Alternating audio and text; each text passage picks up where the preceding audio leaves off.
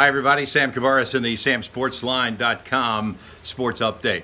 The Jaguars win against the Falcons, which is not a big deal in the exhibition season. You know, preseason was a, a made up word in the league. But the, the danger, the scary part of it, and Matt Robinson talks about this in the Hammer podcast, is the injury factor. You know, there used to be six preseason games. Now there's four, and there's a lot of talk about two. The Jaguars look like they're going to lose Marquise Lee for the year. They've got a pec issue with Marcell Dareus that he continues to struggle with. At least he's got a couple weeks off. And Tashaun Gipson left with a stinger. So, you know, these are the things that you worry about if you're a big fan of the team, simply because last year the team lost two games, both of them by Telvin Smith to a concussion on defense. And that's the kind of team that gets deep into the playoffs, the one that has their best players stay healthy for the entire year. That's who the Jaguars were last year.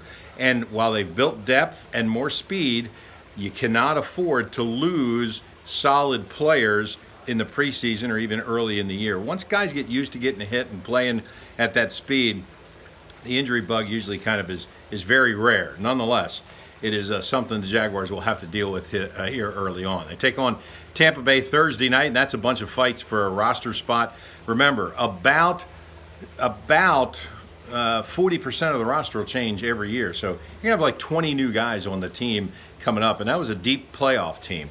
Jaguars still the favorite to win the AFC South, and I think they will do that. And it won't surprise me at all if they're 4 and 0 after the first quarter of the season. So these are the kinds of things that they're working toward. Their offense looked good. Fournette looks better than ever.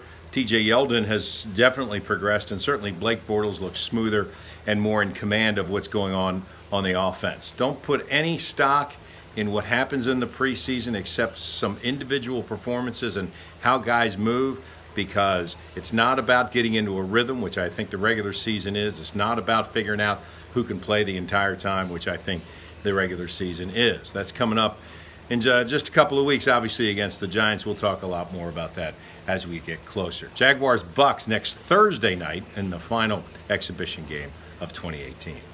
I'm Sam Kouvaris, and that's the samsportsline.com sports update.